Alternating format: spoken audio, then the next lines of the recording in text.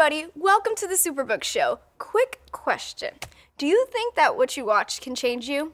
Nah, I watch Crazy Kangaroos from Outer Space, and I haven't turned into a kangaroo yet. But you did start jumping around more, right? Okay, so I jumped once or twice just to see if I could do it. It was exhausting. What's your point? My point is, I think we become more like what we watch.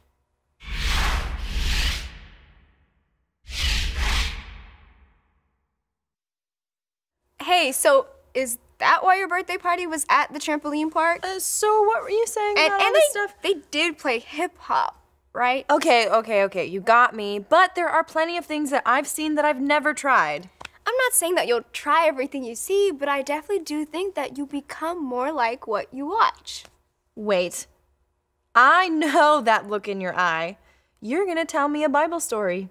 See, you even learned that from watching me. And Okay. yes, I am. Okay, let's do this. Remember Jacob from the Superbook episode Jacob and Esau? I sure do. He's the guy that traded the bowl of soup for his brother's birthright. Yeah, that's right. And he worked seven years for his uncle Laban so he could marry his daughter. I know weddings are expensive, but that's ridiculous. After he worked all that time, he left his family and went out on his own. You know, I'm feeling Jacob. I mean, when I do the dishes, I want to go out on my own. When I have my own house, I will not own dishes. Only paper plates.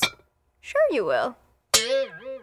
So, because of that, Jacob asked Laban to give him the sheep with the spots and blemishes as his payment. Oh, so instead of a pay raise, he asked his uncle for a pay raise. Get it? Get it? It's a pay raise, yeah, not well, a pay actually, raise. it was it was the opposite. The sheep with spots and blemishes are not as valuable with the sheeps without them. What? So my joke doesn't work? Listen to me carefully. Your joke never worked. Harsh. Anyhow, Jacob took different types of branches and he peeled off the strips of bark and it made it look like those branches had spots.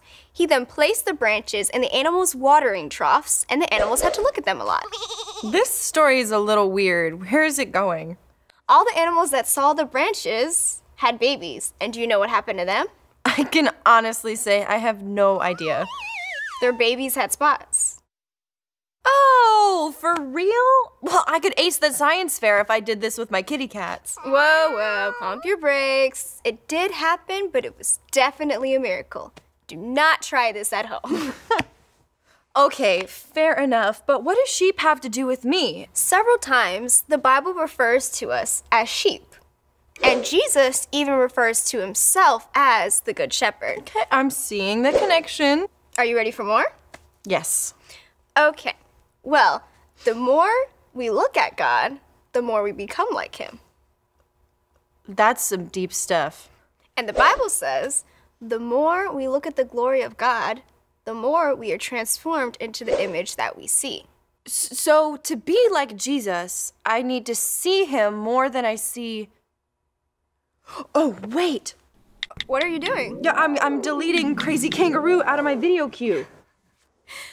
Hilarious, Caitlin. But on a serious note, before you decide to watch something, make sure it's something good for you to watch. No, no, no, no, don't start playing. No, don't, no, don't start, don't start hopping. No, I don't want to hop no more.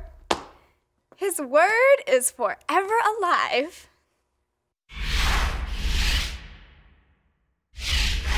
From now on, every time I go into the zoo, I'm going to skip over the kangaroo exhibit.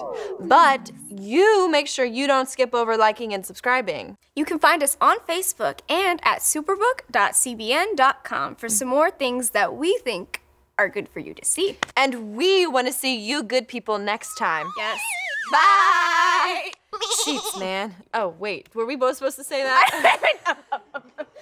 That's good. That's good. Let's just leave it at that. we just hear the whoosh. Whoosh.